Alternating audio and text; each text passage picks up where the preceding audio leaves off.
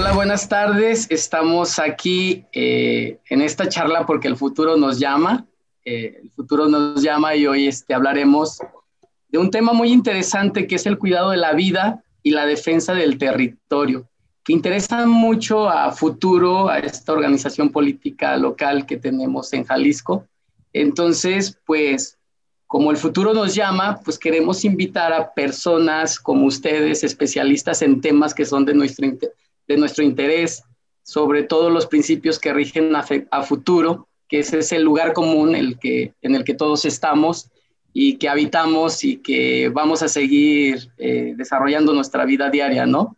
Entonces, pues está con nosotros Salvador Herrera, eh, Salvador Herrera, que es un urbanista y este, profesor de la UNAM, que bueno, eh, ahorita damos unos minutos para que él se presente, pero que también es interesante porque aparte tiene algo ahí sobre arquitectura del paisaje, ¿no? Es decir, este, no solo es construir edificios o caminos o carreteras, sino hay que integrarlos a, nuestro lugar, sobre todo con un enfoque más este, eh, local, ¿no? Local y vegetación sobre todo que sea de nuestras áreas.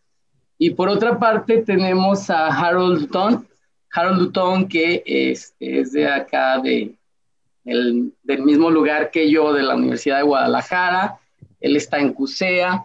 Este, él tiene algo más sobre políticas públicas, pero sobre todo en gobiernos locales, eh, integrando esa parte, ¿no? Cómo debemos de sí este, empezar a trabajar y pensar qué es lo que pensamos las personas en nuestros lugares, ¿no? Y qué es lo que queremos. Y no que este, se nos imponga este, algunas obras, algunos intereses desde la ciudad.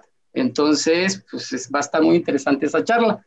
Y bueno, yo soy Leobardo Padilla, este, soy biólogo, eh, maestro en estudios territoriales y pues también me gusta hacer cosas enfocadas a medio ambiente, sustentabilidad y sobre todo desarrollo local. Eh, pues bueno, a ver, comencemos con Salvador. Danos un poquito más para conocerte, Chava. Eh, pues primero agradecer el espacio, felicitar a la organización por tocar estos temas. Eh, eh, digamos, ah, yo soy urbanista y pues me presento muy rápidamente aquí con todos los colegas. Eh, eh, los urbanistas, eh, digamos, estamos muy preocupados por el desarrollo de nuestras ciudades en México y me parece sumamente relevante que una organización como esta esté abordando los temas urbanos de punta. Yo me dedico a, empujar que las ciudades mexicanas sean menos grises, menos inequitativas, menos dolorosas para la gente, ¿no? me parece que salvo algunos mexicanos eh, digamos, eh, que creo que todavía vivirán en algún pueblito muy lindo. La mayoría eh, estamos viviendo una experiencia urbana que no corresponde ni siquiera al nivel socioeconómico que tiene nuestro país. Otros países de Latinoamérica tienen niveles socioeconómicos más bajos y una experiencia urbana mejor. Entonces, ¿a qué nos dedicamos en, en donde trabajo y donde doy clases? A cambiar chips de, de modelos urbanos, ¿no? Y el chip que queremos más cambiar es la adicción mexicana al automóvil, que eh, muchos, el tema del, del, foro es bosques urbanos, pero muchos de nuestros bosques urbanos de los que tenemos en el país se ven afectados por el paso de vialidades, por este, tanto tema como ahorita acá en Xochimilco, en la Ciudad de México, que quieren construir un segundo piso encima. Entonces, eh, pues eso es a lo que nos dedicamos, Leobardo y Harold. Me encanta estar con ustedes, conocerlos y pues participar en, eh, en este foro. Gracias. Gracias, este, Salvador. Vamos con Harold. Ya, ¿qué tal? Bueno, pues también definitivamente muchas gracias por el espacio, este, uh, que también coincido, coincido con Salvador, me parece muy pertinente. Uh, y va muy de la mano, creo que, de, de, del propio futuro, que tiene un árbol como parte de su, este, de su logo, ¿no? Uh, que me parece algo muy innovador uh, y, que, es un tema, al final de cuentas, que es sumamente relevante. No nada más en México, ¿no? El tema de, cambio climático nos va a tener que hacer reflexionar en los próximos, yo diría que 10 a 30 años, muchísimo de cómo es que queremos construir nuestras ciudades, ¿no? Ah, yo diría que en México en general vamos bastante atrasados, este, uh, y, hay mucho por hacer. Eh, otras ciudades también tienen, pero han, han, hay ejemplos muy interesantes de lo que se viene haciendo en otras latitudes, ¿no? Entonces, creo que el hecho de poder empezar a, a, picar piedra, a cambiar chips, yo esa palabra me, me fascina y, y, la comparto muchísimo, ¿no? Tenemos que empezar a, cambiar chips y, qué mejor que ya eh, irlo abordando de, manera más directa. Entonces, muy agradecido por, por el tema que me parece muy pertinente, considerando que las poblaciones en las ciudades cada vez son más, ah, ah, más grandes, está más concentrado y, por lo tanto requerimos este, repensarlas, ¿no? Ah, y Salvador, que es experto en neurología, seguramente nos va a decir mucho al respecto. Sí. Sí, bueno, eh, eh, recordemos el tema, ¿no? El tema es este, por la defensa de nuestros bosques urbanos. Entonces, a partir de ahí, pues quisimos eh, hacerles esta pregunta sobre el papel que juegan los bosques urbanos en nuestra calidad de vida. Creo que muchos, o no sé si la mayor población de las zonas urbanas o de las zonas rurales realmente conocemos la cantidad de beneficios que nos dan los bosques, sean urbanos o no urbanos, para nuestra calidad de vida, ¿no? Pero bueno, queremos escucharlo desde este, de ustedes. Harold. Yo, bueno, bueno, a mí me parece muy interesante este, que podremos suponer que es como un concepto, no, nuevo, pero vamos llamando lo que es nuevo aquí en México, esta idea de pensar en los bosques ah, bajo, bajo la posibilidad de que puedan ser urbanos, ¿no? Ah, normalmente los bosques los pensamos que es algo que lo tenemos muy lejos, que están allá en la sierra o están en las montañas, pero no lo hemos, ah, no nos hemos adueñado de esta idea de que por qué no podemos tener ciudades con bosques internos. Y, que no sean nada más ah, estos bosques que están en las áreas más privilegiadas, ¿no? Creo que el caso de la Ciudad de México sería muy interesante. Ahí tienes a Chapultepec, pero sí, está en un área sumamente privilegiada, ¿no? Ah, nos podemos venir a Guadalajara y tenemos los Colomos, que también está en un área sumamente privilegiada, ¿no? Entonces debemos de ir cambiando este, esta idea Ah, de que debe ser mucho más natural el poder tener grandes extensiones, ¿ok? Ah, tal vez no bosques, porque luego los bosques los podemos idealizar de acuerdo a las características geográficas donde vivimos, ¿no? Ah, un bosque en la Ciudad de México seguramente va a ser muy diferente a uno de Guadalajara por la cuestión y ahí Leobardo, biólogo, nos puedes explicar esta cuestión de, que es muy distinto, ¿no? este, el clima de Guadalajara, por lo tanto, lo que deberíamos. Pero nos debemos de acostumbrar a, como ciudadanos, a exigir este, que se vayan, yo diría, ampliando y, y, que podamos tener un bosque muy cerca de nuestra casa y no algo que digas, ah, bueno, pues si quieres, pues ahí está, pero te tienes que, tienes que hacer un viajecito, ¿verdad? Ah, cuando no deberían de ser ah, lugares lejanos, deberían estar, no sé, a uno o dos kilómetros de, nuestros hogares, ¿no? Muy interesante. Este, bueno, vamos con Salvador y este, yo hago ahí también una, una pequeña opinión, si me permiten. No, y coincido mucho con, con Harold. Eh, eh, los, los, lo que llamamos ahora bosques urbanos, no sé si el nombre sale de, de la designación que acá en la Ciudad de México le pusieron a justamente a Chapultepec y a San Juan de Obregón. No sé cuánto tendrá en el caso de Jalisco la designación de bosques urbanos, que a mí me parece como eh, muy contradictoria, ¿no? Esas dos palabras juntas. Eh, eh, poniendo otro ejemplo de bosque privilegiado, pues Chipinque junto a San Pedro Garza García, lo mismo, ¿no? Este, este entonces, sí, creo que obedece un poco a, que mm, históricamente, creo yo, eh, eh, pues las clases altas, eh, pues eran las que podían esparcirse, ¿no? como que el esparcimiento, que cuando tú preguntaste, Eduardo, cómo se relaciona con la calidad de vida, yo creo que el esparcimiento, y más el esparcimiento natural, en ambiente natural, es un derecho de la ciudad, ¿no? Un derecho del habitante urbano o un derecho humano, podríamos decir. Entonces, ese derecho a esparcirte a un ambiente sano, ahora acá en la Ciudad de México, en la Constitución nos pusieron derecho a un ambiente sano. Este, entonces, pues estos espacios eh, naturales o naturalizados dentro de la ciudad, pues son ese, ese primer cumplimiento, ¿no? A tener un derecho a esparcirte, sobre todo considerando que pues la vivienda en México en promedio pues rondará los 50, 55 metros cuadrados para familias de 4, 4.5 habitantes. ¿sí? Dependiendo de las ciudades, quizás eh, en el municipio de Guadalajara ya bajó a 3.8 así, pero en Tlajomulco creo que anda como en 6 el promedio de habitantes por vivienda. ¿no? Entonces, eh, creo que ese es el primer eh, punto de la razón de existir de estos espacios, ¿no? Eh, poniendo al ser humano un poco por delante en términos de, la lógica como surgieron, pero hoy en una lógica de siglo XXI, donde el ser humano tiene que ponerse un poco detrás, siento yo, este, de lo que hizo en el siglo XX, eh, pues los bosques urbanos son los que permiten la sostenibilidad de la ciudad, ¿no? Eh, si logramos que sean, en lugar de con espacios delimitados, se vuelvan sistemas, ¿no?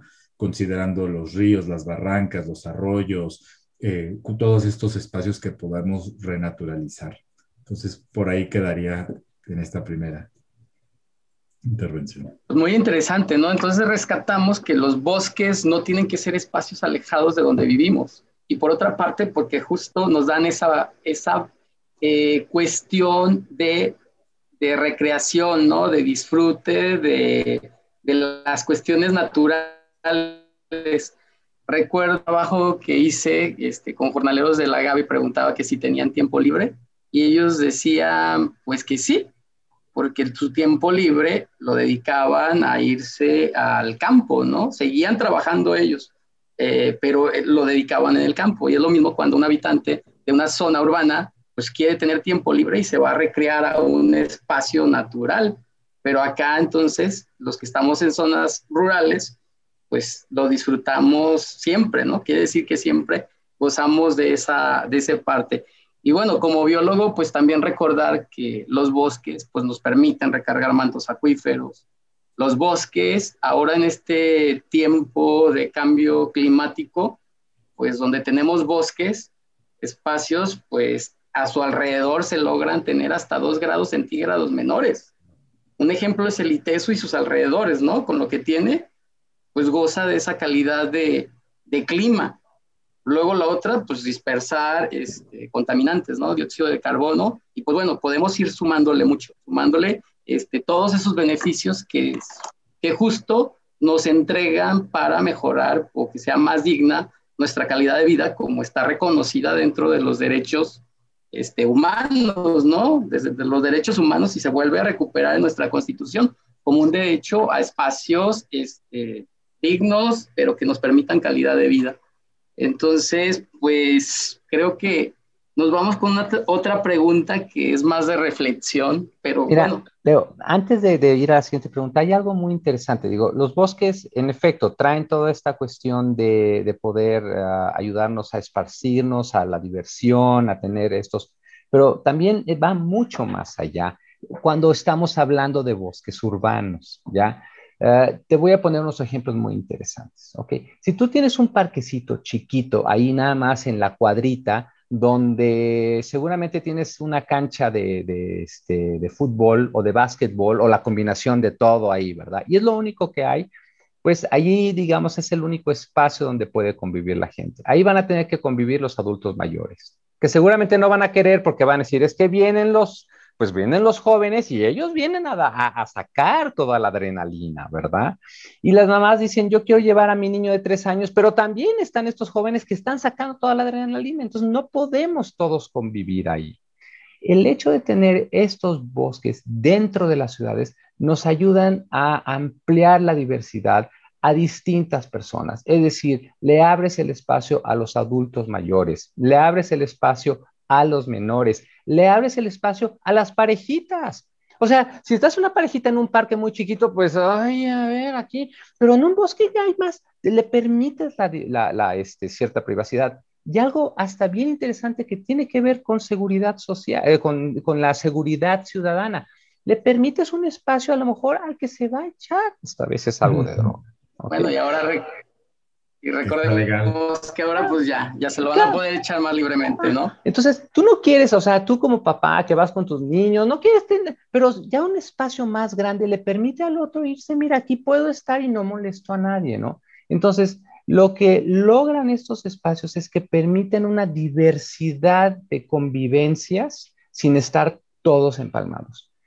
Eh, Salvador, como estaba diciendo ahorita, a ver, estos, estas cajas de zapatos en las que estamos cada vez o los departamentos cada vez más chicos, pues no puedes hacer ahí todas estas actividades. Necesitas poder hacer un espacio público. Y entonces, esa es otra función que para mí es sumamente importante y ahí es donde tiene que intervenir forzosamente el Estado, el municipio.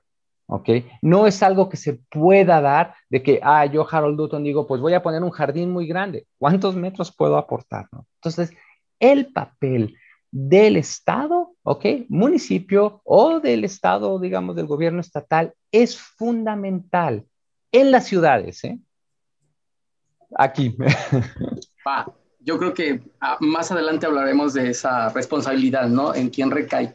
Pero ahora y una pregunta cuando me pidieron que fuera el que coordinara este panel, pues yo, yo pensé, dije, a ver, debemos conversar sobre defender o conservar los bosques de la ciudad o pensar en los bosques como un principio para ser ciudad. Si ya hablamos de todos esos beneficios que nos tienen, entonces, ligado con la temática, ¿no? Entonces, eh, bueno, ¿quién, ¿quién primero? Yo pienso que defender los existentes es algo, eh, digamos, una exigencia a hacer, pero no nos podemos conformar con los existentes, ¿no? Eh, eh, sino que debemos de transformar la ciudad para que, si bien quizás no a la escala de un bosque urbano, pero la ciudad cambie, ¿no? Algo lo que voy a comentar se relaciona con lo que acaba de decir Harold, además de estos espacios para que convivan las personas que no pueden hacerlo en su casa por sus tamaños, etcétera, también es para que convivan las clases sociales y eso en México es súper necesario, ¿no? Eh, está esta, eh, por ejemplo, el tema de, de, muy político quizás, etcétera, pero los campos de golf que han quedado dentro de las ciudades, ¿no?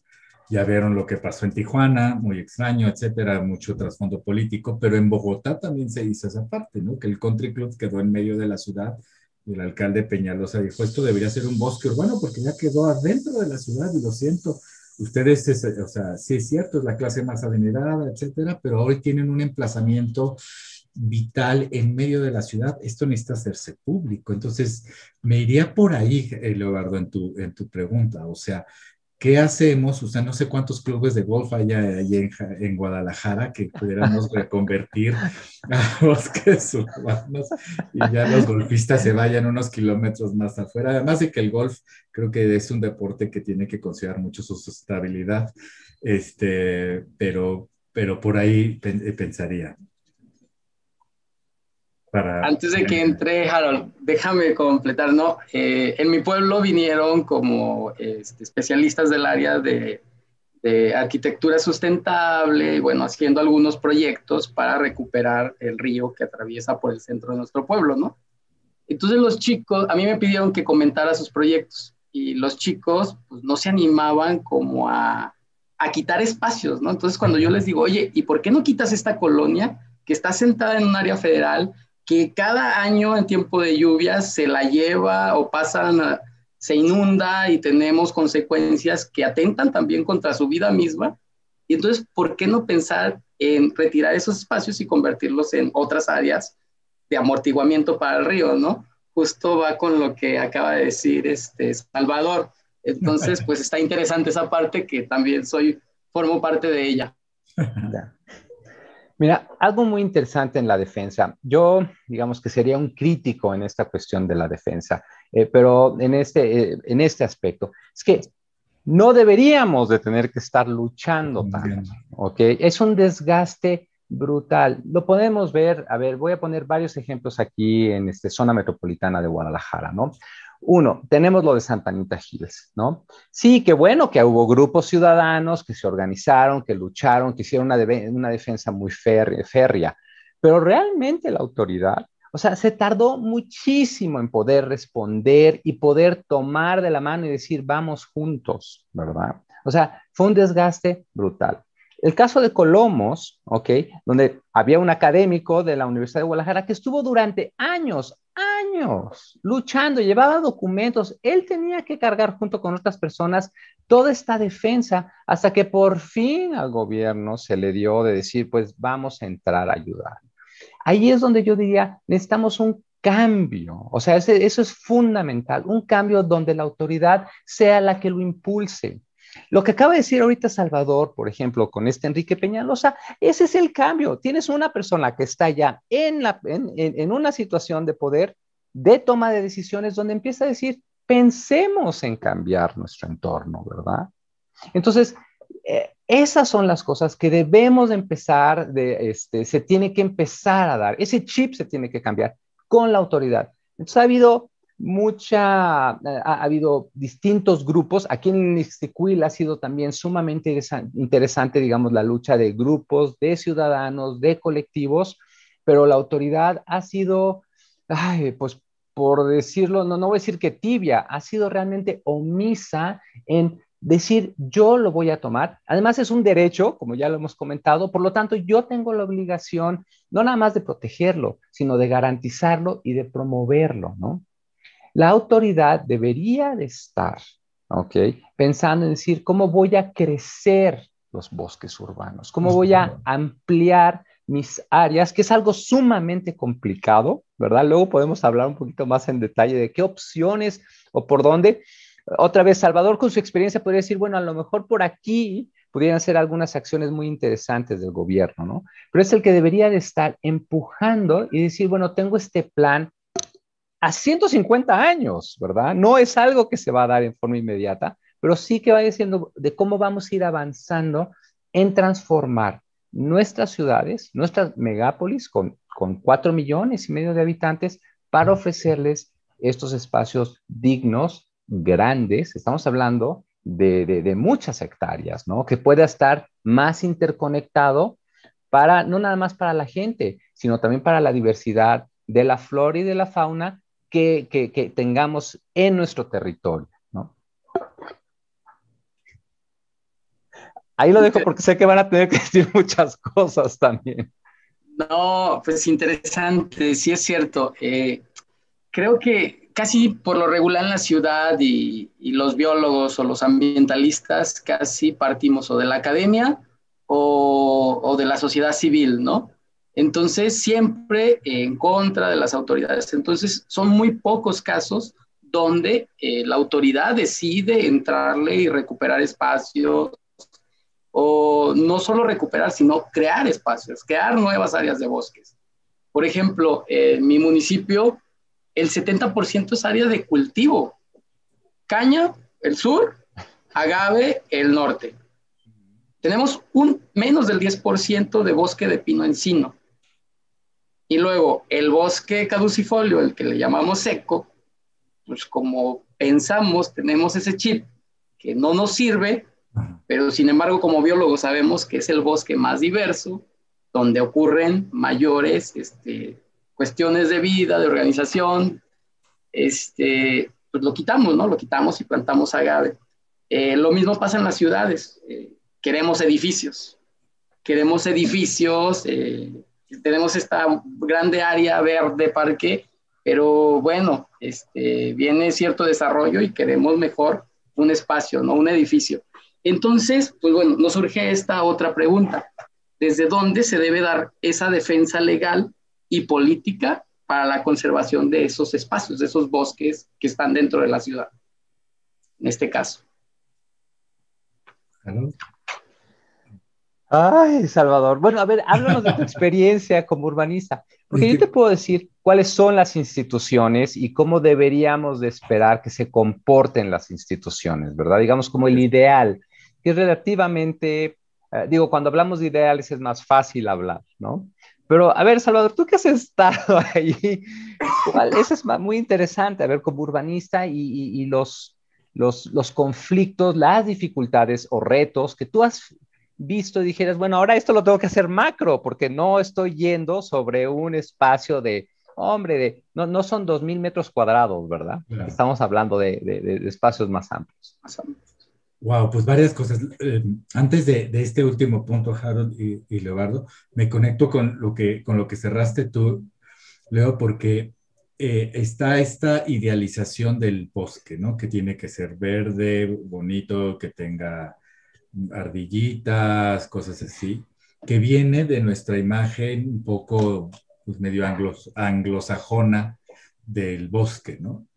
Entonces, sí creo que tenemos que desde replantear eso, porque eh, en muchos de nuestros territorios desérticos y tropicales no se, no se valora eh, su contexto ambiental justamente porque no es eh, el pasto verde con las florecitas y este, así como lo vemos en las películas. Entonces, eh, a mí me sorprende mucho, por ejemplo, ya en términos de planeación urbana, la ciudad de Phoenix, que no, la pongo muchas veces de, de muy malos y eh, dos, tres cositas buenas, pero tiene su montaña protegida ahí en medio entre Phoenix y, ¿cómo se llama? Scottsdale y esta montaña que se llama algo así como eh, eh, Camelback, no sé qué, algo, algo de, camello. Es un desierto, pero lo han protegido también que está eh, cuidadísimo, es, es, un jardín ese desierto, ¿no? Está los cactus así impresionantes, los aguayos, etcétera, en medio de Phoenix. Y lo que más me sacó de onda es mexicanos, chihuahuenses. Yo fui el director del implante de Chihuahua, tomándole, oh, qué bonito. Y yo, es lo mismo que tienes en Chihuahua, nada más que lo allá lo tienes lleno de basura y no lo cuidas y le echamos el cascajo, etcétera. O sea, entonces los chihuahuenses ahí tomándose fotos con el zaguayo. Entonces, creo que por un lado pasa por un tema de cultura ciudadana, de replantear, o sea, de retomar lo que es nuestro valor ambiental y darle eh, el peso que tiene hacia nuestra vida cotidiana, alejándonos de las, de los, eh, eh, mm, de, los de las imágenes, digamos, que nos vienen de, de, películas y todo esto. Eso por un lado. Y luego pasando a la parte, pues, más oficial, digamos, creo que mm, necesitamos encontrar nuevas figuras para crear áreas abiertas para el público, ¿no? Áreas abiertas. En primeras, pues luchar que no estén bardeadas, como Chapultepec acá, que pues tiene horario, o sea, este, eh, eso me, me, molesta mucho que, que, estos grandes espacios, por la propia inseguridad que vive el país, pero yo también a veces pienso, si estuvieran bien iluminados por, en algunos puntos, etcétera, bien monitoreados, a lo mejor serían un factor de bajar la, la inseguridad, ¿no? La gente iría, podría hacer deporte en la noche, tendría pero ¿quién promueve estos bosques, no? Eh, eh, o estos espacios naturales. Y yo creo que ahí es donde también deben de surgir iniciativas ciudadanas. Está este modelo de área de, área, eh, de conservación de propiedad privada o de propiedad comunal, en donde un ejido o un rancho de un privado, pues puede abrirse al público con cierto programa de manejo, ¿verdad? Este, y, dar un servicio público, un servicio ambiental también por su ubicación. Entonces, creo que debemos de pasar, y ojalá que en la plataforma de futuro sea mucho eso, a que la población no dependamos de que haya un ambientalista en el gobierno para que sucedan las cosas, ¿no? Sino que tengamos más canales para que sucedan y no solo sea la iniciativa de la autoridad, que no le no resto para nada, su obligación de hacerla, ¿no? Pero creo que podemos abrir más canales.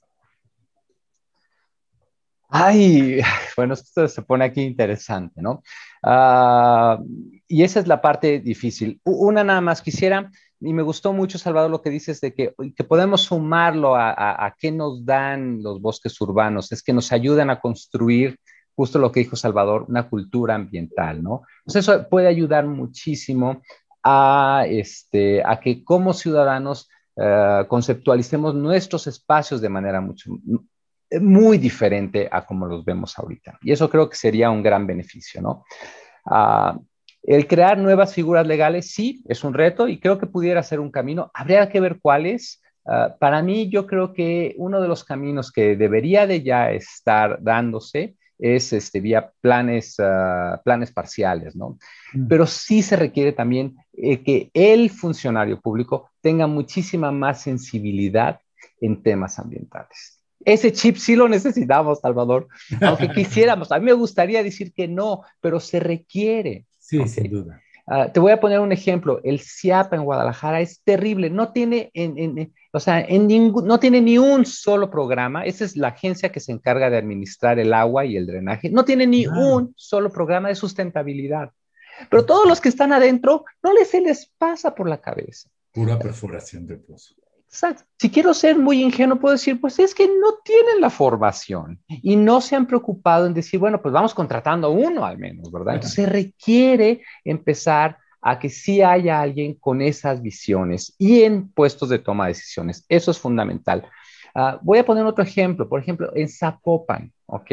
El presupuesto participativo pudiera ir encaminado en este camino. Bueno, si uno se fija los proyectos que hay para este año, y seguramente va a ser igual para el año pasado, todos tienen que ver con banquetas, calles y alguno que otro parque, ¿verdad? Pero principalmente son calles y banquetas. Urbanización clásica. Ajá, es clásica. Y además no son opciones de la gente, ¿verdad?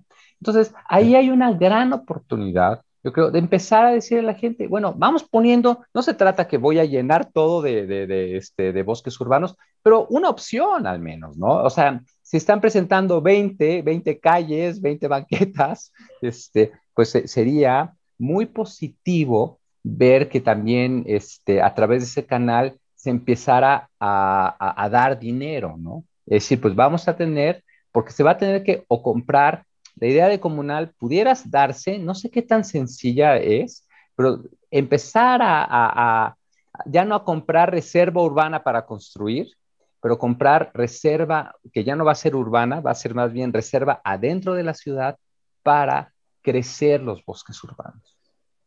Eso a mí me parece que sería fundamental. No va a salir, este, ¿cómo se llama? Barato, pero si le ponemos números de cuánto se está gastando actualmente en construir calles, en, o sea, se van hasta, Guadalajara gasta aproximadamente mil millones de pesos al año en obra pública, obra pública.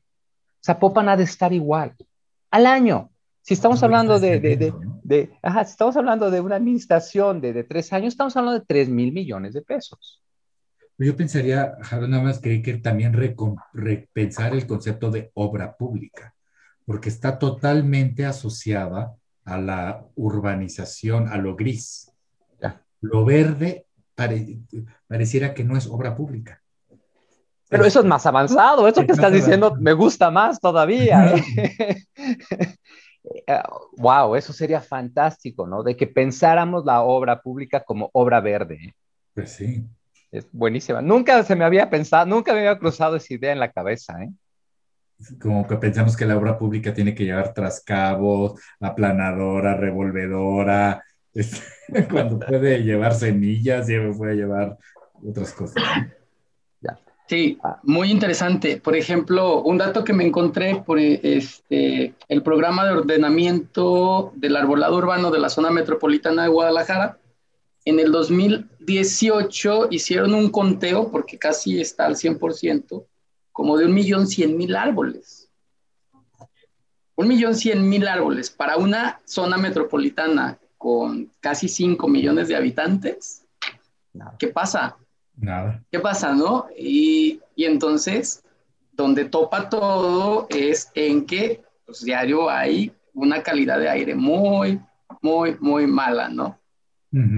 padecimiento de agua, agua potable, este, el arbolado se está muriendo porque pues es poco para las grandes cantidades de aire contaminado, pues se pone, se pone problemático.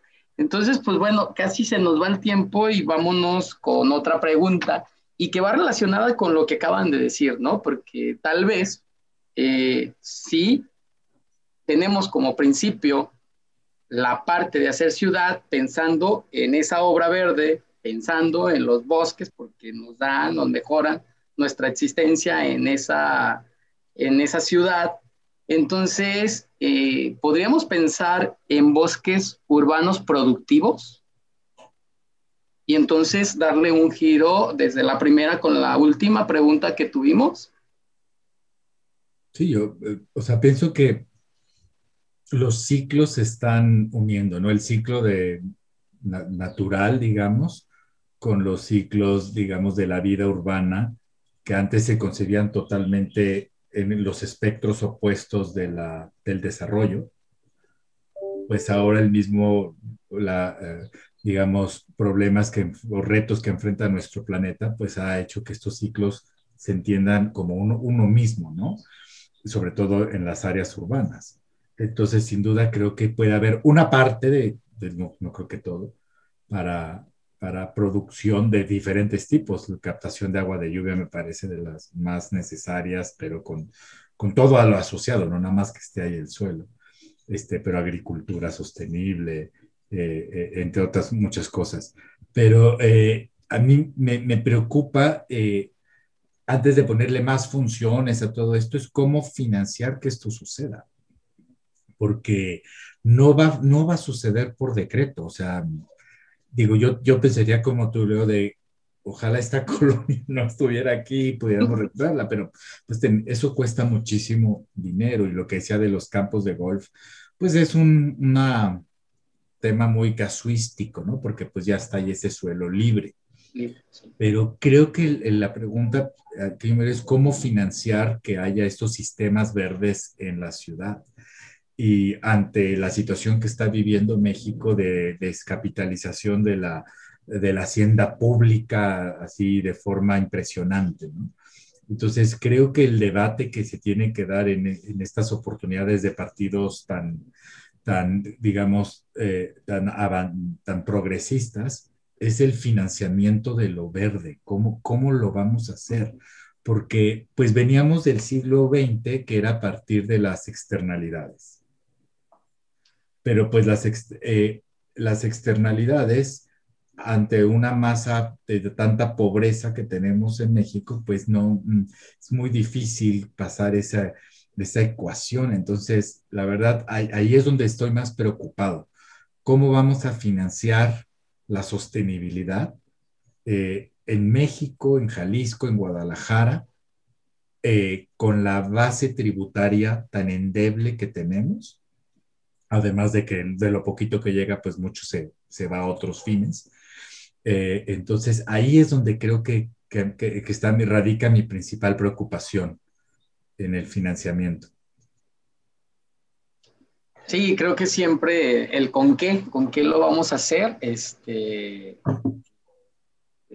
pues es de pensarse mucho, ¿no? Pero yo quise hacer un proyecto, ese, algo que le llamé el Bosque de los Valles, y pues bueno, este, pudimos conseguir árboles, pudimos, el espacio ya se tenía, pues era un espacio este, sin árboles, que había sido un espacio de cañas, de cultivo de cañas, pero, pero bueno, este, a través de donaciones, de algo, pudimos rescatar ahí algo como de mil, mil doscientos árboles, que sobre todo se pensó en una forestación con una cuestión educativa, pensando en un arboretum, con este, árboles endémicos, que ese propio vivero los estaba produciendo, pero entonces que la cantidad de beneficios, porque el principal ahí era incidir en, cambiar el clima, ¿no? Un espacio con un sol muy abierto, muy tajante, que, las personas lo mínimo que querían estar era fuera de, las aulas,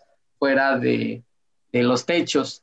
Entonces, pues de ahí pensando eh, en esa parte, como ese museo de árboles, pues quisimos incidir, ¿no? Y ahí, pues la búsqueda a través de, de ciertas donaciones para este pequeño proyecto, digo, en estos espacios más grandes, pues sí, este, surge esa pregunta, el cómo, el cómo financiarlos, pero, pero creo que se gasta más en cemento que, que en plantar árboles o en planear ciertos espacios.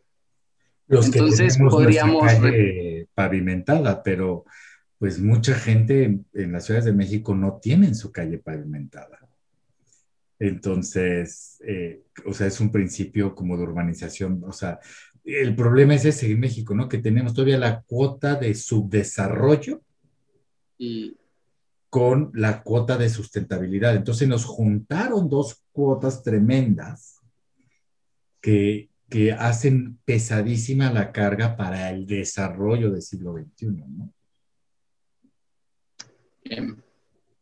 Ay, mira, este, bueno, a, mí sí, el, término de productividad, digo, está bien, pero creo que es muy retador. Hay que tener mucho cuidado porque luego creemos que la productividad nos tiene que dejar algo, ¿verdad? Es para hacer algo. Ah, yo diría que los bosques uh, sí brindan servicios ambientales y eso, si, eso, si a eso nos referimos por productividad, pues están siendo productivos, ¿verdad? Uh, sí mucho va a depender de qué tanta área estemos hablando. ¿no? Sí, también. Uh, esas cuestiones, una, creo que los biólogos pueden ayudar muchísimo mejor para ir buscando como cómo le damos ese balance, ¿no? E, esa, y es algo que no se hace de la noche a la mañana. Eh, yo por eso diría que es una visión mucho de largo plazo y hay, lo que, hay que irlo construyendo así como por bloques, ¿no?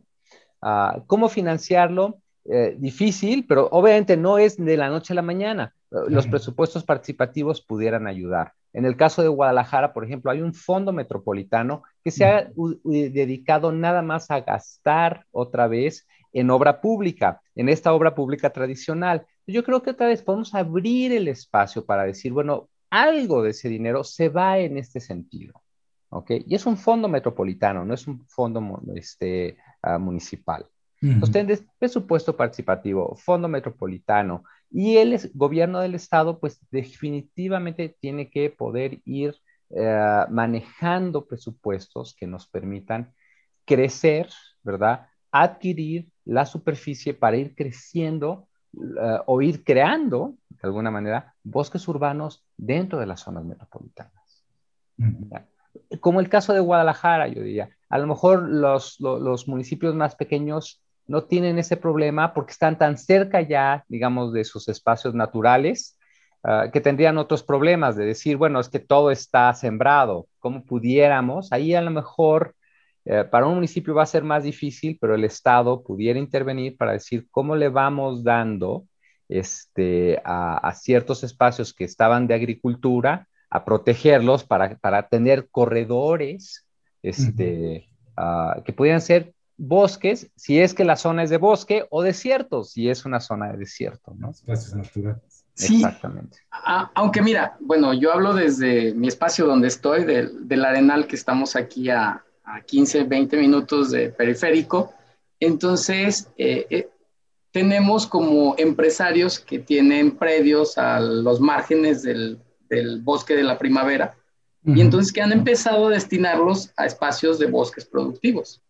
Eh, pino en específico, pero que entonces pues siguen cuidando esa área de amortiguamiento, ¿no? Porque están entre la parte urbana, pero también los límites del bosque de la primavera. Entonces pensar todas esas franjas, pues pueden empezar a tener esta parte. Digo, ya dentro de la ciudad, pues sí tendríamos que pensar en qué espacios están libres, ¿no? Si hubiera un campo de golf por ahí. ya encontré uno ahí, muy, muy céntrico en, en su ciudad. Ah, así es, está bien bonito y muy, pero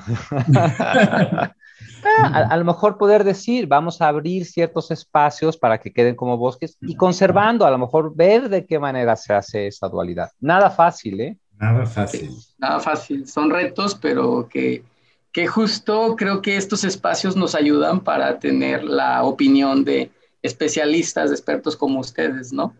Pues muy contento, muy contento de estar con ustedes. El tiempo se nos ha ido, ya vamos un minuto con pasadito, pero pues hacer un recuento. Entonces creo que pues no, no nos queda duda de que los bosques eh, nos dan calidad, ¿no? Calidad y dignidad para estar eh, donde vivimos día a día.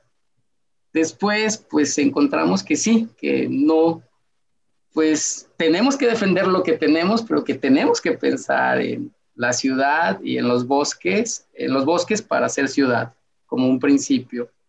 Y después, pues que tenemos que cambiar ese chip, pero yo creo que lo tendríamos que cambiar desde este, niveles este, educativos, desde la primaria, preescolar, empezar a cambiar, a construir ese amor, ¿no? Sobre todo ese amor por, eh, no solamente por las personas, por nosotros como nosotros, sino por todas las otras especies, por lo, también lo que no tiene vida, el agua, el aire. Y por último, pues el reto, ¿no? El reto eh, para conseguir desde dónde podríamos financiar estas posibilidades, posibilidades de crear nuevos espacios verdes. Pues muy agradecido con ustedes, Harold, eh, con Salvador, por, por atender este llamado de, de Futuro Jalisco, por darnos estos estas pinceladas de lo que podríamos hacer, ¿no? Me encantó esa parte de, cómo si es cierto que los mexicanos vamos a áreas desérticas y pensar que nosotros aquí tenemos los nopales, los agaves y no los utilizamos para tenerlos como y defenderlos, ¿no? De tenerles ese cuidado, sino al revés, les cortamos las púas, lo que nos estorba o simplemente los tiramos. Entonces, pues mucho que aprender, mucho que hacer y pues muchas gracias y ojalá nos podamos encontrar otra vez. No, pues gracias, gracias por el espacio. Este, un gusto conocerte, Salvador, y bueno, coincidir en estos espacios. Y, Leo, muchas gracias por, por ah, irnos guiando en, esta, en esta plática hoy de bosques urbanos. Igualmente, un placer. Gracias, Harold. Eh, con gusto en conocerte. muchas gracias por la moderación y gusto también en conocerte. Y gracias a el espacio que brinda, me parece fundamental discutir estos temas. No, no recuerdo esto antes en, en, otro escenario, entonces fabuloso que aborden estos temas, que sean punteros, que, sean, que empujen la discusión pública. Eso me parece vital trascender, porque esta discusión que tuvimos hoy se centró en la oportunidad, o sea, bosque urbano como esa oportunidad de hacerlos, no como no como los problemas, ¿no? El rezago, sino entonces eh, me eh, coincido mucho con ese tema de ir empujando los temas de vanguardia y qué padre que este y los demás que tengan foros pues sean así de, interesantes y productivos y que la agenda de futuro eh, jale a mucha gente que jale a mucha gente que entienda eh, las decisiones eh, y renuncias que tenemos que hacer con nuestro estilo de vida del siglo XX, dominado por el interés privado, hacia el, siglo, el estilo de vida del siglo XXI que debe estar dominado por lo público y lo ambiental. Y esa renuncia es interna, no nos los va a imponer ningún partido o ningún gobierno, sino cada uno. Cada uno de nosotros. Sí, Entendido. Pues muy bien, muchas gracias. Un gusto y un placer.